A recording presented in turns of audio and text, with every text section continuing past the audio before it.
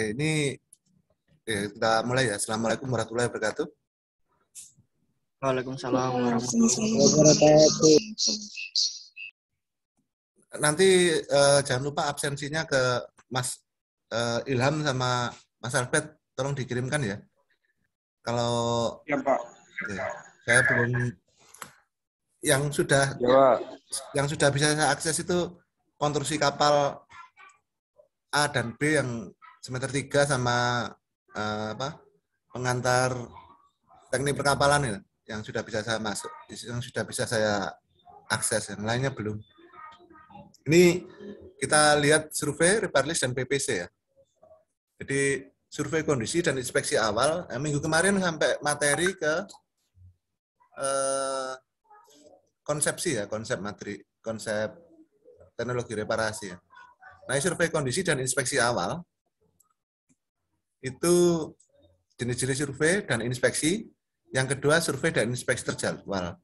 Ini aturan ini ngikuti apa usia kapal itu ya biru klasifikasi itu mem- tergantung tanda tanda kapalnya ya.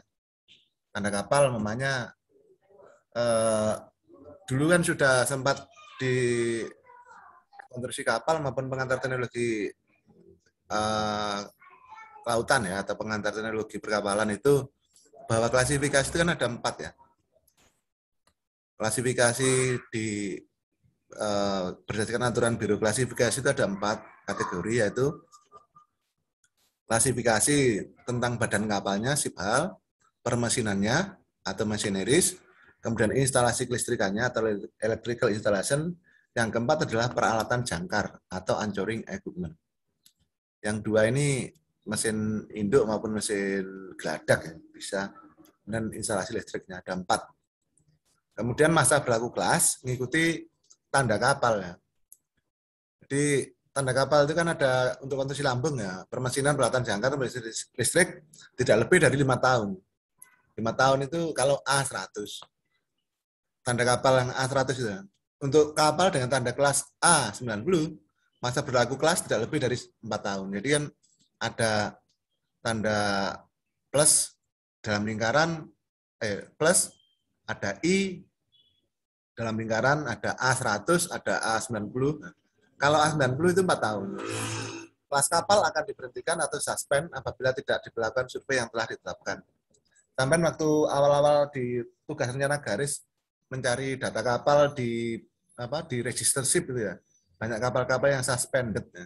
Kenapa di suspended? Ya, karena eh, tidak memenuhi persyaratan reklas, tidak memenuhi persyaratan reklas. Kemudian jenis dan waktu survei, survei wajib untuk kapal yaitu survei tahunan, ya. annual survei dilakukan tiap tahun, kemudian survei antara atau intermediate survei dilakukan di antara dua survei pembaruan kelas. Kemudian survei pembaruan kelas dilakukan tiap 4 atau lima tahun. Kenapa 4? Karena dia A90 tanda kapalnya. Kenapa 5? Berarti dia A100. Nah ini antara annual, annual kan tiap tahun ya. Intermediate itu dilakukan di antara empat tahun itu atau lima tahun, tapi bukan annual survei gitu. Intermediate survei itu bukan annual survei. Kemudian survei khusus, contohnya eh, survei pengujian mesin dan perlengkapannya, survei kerusakan dan perbaikan, kemudian apa namanya survei kerusakan dan perbaikan dilakukan apabila terjadi kerusakan pada lambung, instalasi permesinan. Kemudian survei ini juga diduga, dapat dilakukan apabila diduga terjadi kerusakan. Di, jika ter, apa, diduga, jadi pihak operator kapal atau bahkan dari sah bandar atau BKM um, mengasumsikan ada kerusakan, maka bisa dilakukan atau diminta pihak pemilik kapal untuk melakukan survei. Kemudian yang ketiga, survei yang dilakukan di antara dua survei berkala. Jadi intermediate survei yang yang paling utama kan tiga ya, annual survei, intermediate survei, yang ketiga adalah uh, survei pembaruan kelas. Nah, intermediate survei itu uh, pembaruan apa survei di antara dua pembaruan kelas lah. Tapi bukan annual survei. Nah, survei yang dilakukan di antara dua survei berkala ya. Ini yang khusus survei khusus itu bukan bukan annual juga bukan intermediate survei gitu. Tapi boleh bergabung.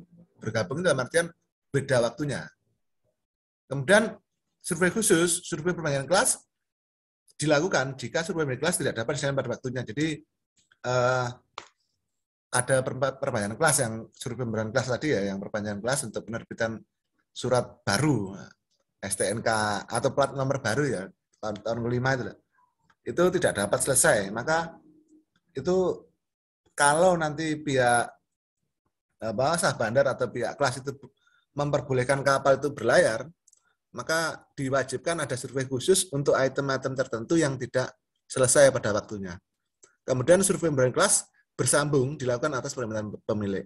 Jadi jika pemilik itu menyampaikan ke pihak biro klasifikasi untuk apa menyatakan bahwa kapalnya saya harus berlayar pada tanggal sekian, ada beberapa item yang belum selesai, maka akan saya lakukan sambil proses kapalnya berjalan. Itu diperkenankan. Maka namanya survei pemberantasan kelas bersambung. Jadi kurang, tapi tidak di bagian-bagian yang vital. Contohnya namanya replating hanya di, di bagian apa atas bangunan atas sebenarnya. Tapi replatingnya tidak apa tidak apa replating, tinggal pengecatan namanya atau timbang eh, tinggal pemasangan beberapa apa eh, komponen di dalam kamar yang tidak me, menurunkan integritas dari operasi kapal gitu. Itu diperkenankan. Kemudian suspend ini diakibatkan tidak berlakunya kelas ya. tidak berlakunya kelas. Kenapa? Karena survei tahunan terapung dan di atas dok tidak dilaksanakan pada waktunya langsung di langsung disuspend ya. Banyak yang nama-nama kapal yang tahun kemarin yang sampai awal TRG itu kan banyak yang suspend waktu ngambil data dari register ya. Kapal mengalami kerusakan yang kedua ya. Kapal mengalami kerusakan dan tidak dilaporkan pada survei BKI di pelabuhan terdekat untuk dimintakan survei. Kemudian yang ketiga, perbaikan yang perlu dilakukan tidak sesuai dengan peraturan BKI. Ini hal-hal yang gampang ya. Jadi kalau sampai masuk ke register SIP, SIP register itu pasti kata-katanya muncul. Perbaikan yang direkomendasikan survei tidak dilaporkan pada waktunya. Kemudian yang kelima, survei yang telah direkomendasikan tidak dilaksanakan pada waktunya. Ini uh, survei tahunan terapung tidak dilaksanakan pada waktunya. Maka ketika tidak dilakukan ya langsung suspend, langsung ya, langsung suspend. Nggak boleh beroperasi. Kemudian kapal punya kerusakan tapi nggak lapor. E, kapalnya itu punya kerusakan tapi nggak nggak melaporkan. Nah, kemudian pihak sah bandar atau pihak BKI itu e, tahu bahwa ada kejadian yang melibatkan kapal tersebut. Maka BKI atau sah bandar itu langsung bisa memberikan suspend kalau dia apa pihak BKI mengetahui. Terus kemudian teledor si pemilik kapal atau kru kapal itu teledor lupa tidak lapor bahwa dia mengalami kerusakan. Contohnya eh, jangkarnya pukul satu gitu. Atau eh, dia nabrak kapal yang lebih besar namanya gitu. Atau dia ditabrak oleh kapal yang lebih besar gitu. Walaupun tidak rusak fatal, tapi ada kerusakan itu harus lapor. Kemudian perbaikan yang perlu dilakukan Eh, dengan harus sesuai dengan peraturan BKI. Kemudian yang keempat, perbaikan yang dilakukan surveyor tidak laporan pada waktunya. Contohnya begini, kapalnya ada satu rekomendasi, eh, memperbaiki eh, jangkar untuk naikkan makanan itu apa namanya eh, accommodation ladder ya, eh jangkar yang untuk eh jangkar yang apa? Kren, kren yang untuk menaikkan makanan di belakang kemudian rusak dia. Rusak, kemudian surveyor menyatakan harus di, eh, di, dilaporkan ya. Ini karena vital untuk menaikkan barang-barang di belakang dan juga untuk menurunkan namanya uh, sekoci di belakang. Enggak diperbaiki juga enggak ngelapor. Maka ya disuspend. Nah ini contoh gampang namanya. Eh kemarin kan sudah ada ini ya, sudah ada apa namanya edaran terkait apa perbaikan nilai ya. Kalau tidak laporan ke dosennya terus kemudian tidak diperbaiki eh, tepat waktu ya suspend gitu. Yang paling penting kenapa rusak gitu. Kenapa nilainya rusak atau tahun kemarin, eh, semester kemarin kenapa enggak pernah masuk kan gitu-gitu. Harus harus menyampaikan itu ke eh ini contoh ya, contoh saja. Kebetulan ada surat dari Pak Dedi Dayat terkait apa akademik itu.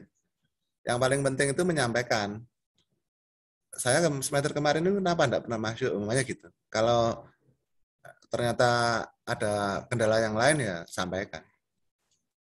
Ini permasalahan yang sebenarnya uh, mirip ya, mirip dengan yang terjadi. Uh, tidak di tidak dilap, tidak laporan bahkan tidak perbaikan. Nah, itu masalah ya, masalah besar bagi sampean, bukan bagi dosennya. Dosennya damai-damai aja. Paling-paling dosennya kan minta eh ada harus ada surat. Suratnya ya maksudnya surat pernyataan dari mahasiswanya. Kelihatannya begitu sih. Banyak sekali kemarin yang dari anak TMK. Kemudian survei yang direkomendasikan tidak dilaksanakan pada waktunya. Eh, wis datang tanggal sekian. Nah, gitu. Kebetulan pas ada temanmu banyak di situ gitu. Agar tahu apa kondisi bahwa teman-temanmu juga apa, ada kegiatan gitu. Eh gak teko gitu. Ya kan kadang-kadang dosennya melihat keseriusan dari usaha dari masing-masing yang kapal ya, masing-masing kapal yang bermasalah ini. Masing-masing kapal yang bermasalah ini kan dilihat.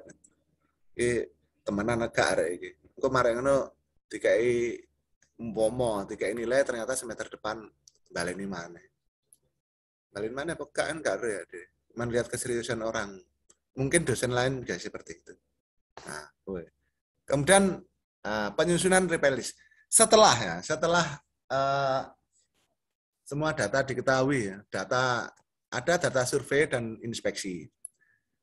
Ada pihak dan kepentingan, ada beberapa pihak yang punya kepentingan, operator kapal, eh, kru kapal, operator kapalnya, operator kapal perusahaan ya, perusahaan kapal. Yang ketiga ada biro klasifikasi, yang keempat adalah sah bandar. Kemudian ada konsultan. Ada banyak pihak yang punya kepentingan dalam uh, survei ini.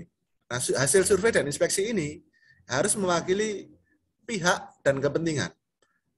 Kemudian harus e, memenuhi unsur kemampuan untuk review dan verifikasi. Hasil hasilnya survei itu, hasil reperlis itu harus memiliki kemampuan untuk direview dan diverifikasi oleh semua pihak, gitu. pihak-pihak berkepentingan.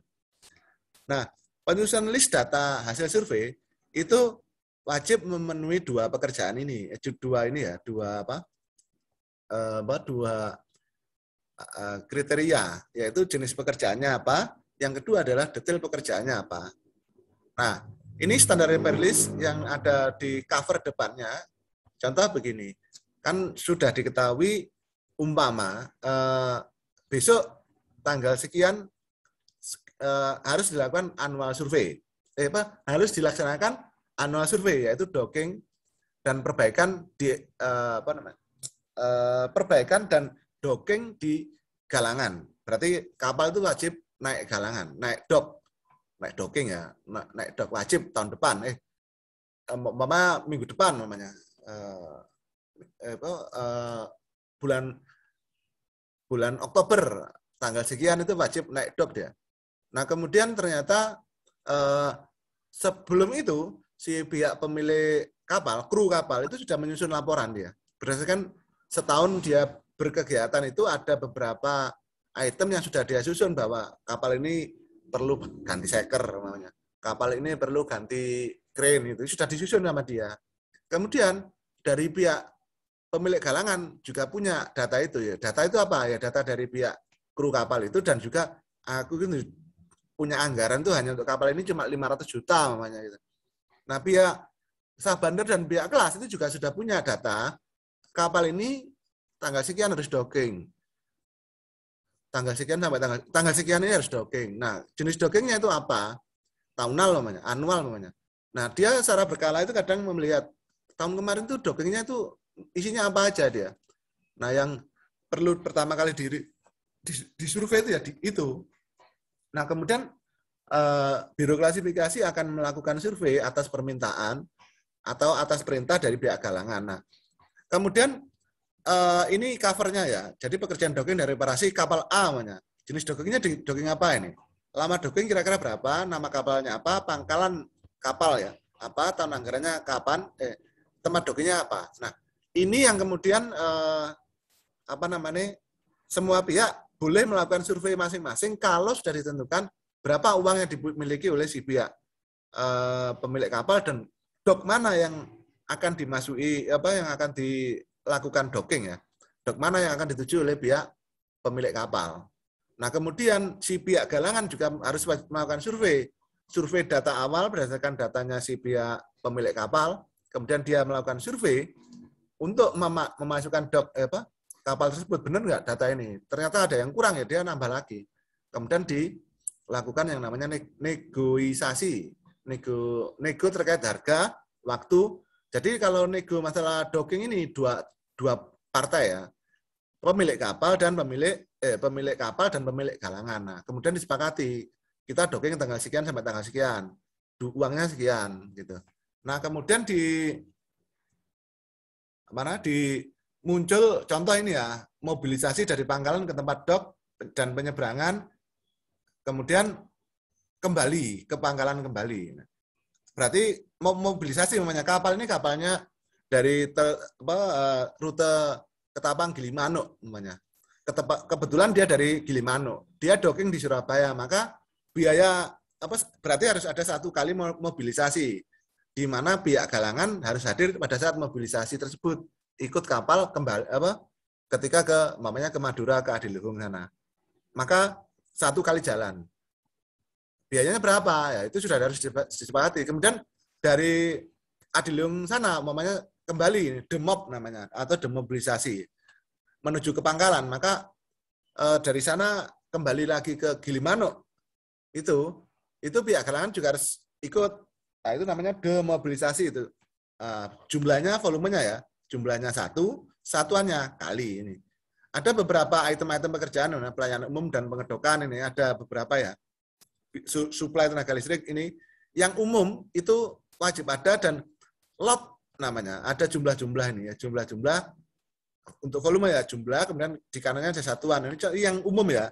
Kayak namanya takbut untuk masuk keluar ini kan pasti dua kali ya kemudian ada akomodasi untuk kapal ABK kemudian sistem propulsi dan kemudi ini sistem propulsi ikut ke permesinan ya. Permesinan. Ini ada jumlahnya berapa kemudian satuannya apa ya. Kemudian konstruksi badan kapal badan kapal itu dibagi dua, bawah garis air dan kemudian atas garis air. Ini uh, standar ya, standar repair list namanya. Hasil dari survei bersama dan kesepakatan dari nego terkait harga dan waktu dari pihak galangan dan pihak pemilik kapal nih. Pekerjaan lambung ada atas garis air, ada bawah garis air. Kemudian sama seperti tadi ada peralatan tambar, eh, tambat dan bongkar muat ya keren tadi ya, ancoring, eh, ancoring equipment namanya. Ini ada apa aja yang harus diganti, jumlahnya berapa, satuannya berapa. Kemudian pekerjaan pipa dan tangki ya masuk dalam perpipaan keren pipa dan tangki ini masih pekerjaan perpipaan ya. Ada si cas, ya, si cas, ya. si cas jumlahnya berapa, satuannya apa. Kemudian lain-lain. Nah, lain-lain ini contoh ya, biaya survei untuk perpanjangan kelas, biaya administrasi sah bandaran, BSI trial dan kompaseren. Kompaseren itu menyocokkan kompas terhadap apa namanya terhadap uh, titik koordinat kapal ya, kompaseren namanya. Kemudian ada biaya si trial sendiri berapa, biaya kompaseren berapa. Ini standar dari uh, repair list. Nah, kemudian uh, dari data tersebut PPC. Ini kemudian kita masuk ke PPC yaitu perencanaan Eh, terkait waktu, perencanaan terkait anggaran, kemudian ada analisa waktunya, ada analisa anggaran. Analisa waktu untuk pemilik galang, pemilik galangan ya, yang docking tadi. Berapa kira-kira waktunya cukup apa Kemudian bagaimana caranya membagi anggaran ini dalam nilai-nilai uang yang muncul tanpa eh, apa namanya tanpa eh, rugi ya, tapi mendapatkan untung gitu. Ya apa caranya? Jadi inti dari masalah eh, PPC itu adalah menata pekerjaan berdasarkan repair list eh, untuk eh, memenuhi target waktu docking. Nah, ini namanya PPC ya. PPC untuk kapal repair. Jadi PPC di teknik manufaktur kapal kita tidak memberikan secara spesifik, tetapi masuk ke eh, saya tambahkan di materi eh, teknologi reparasi dan konversi kapal. Demikian yang bisa saya sampaikan. Setelah ini saya buka link Zoom baru untuk tanya jawab. Makasih. Assalamualaikum warahmatullahi wabarakatuh. Waalaikumsalam. Waalaikumsalam warahmatullahi wabarakatuh. Terima kasih, Pak.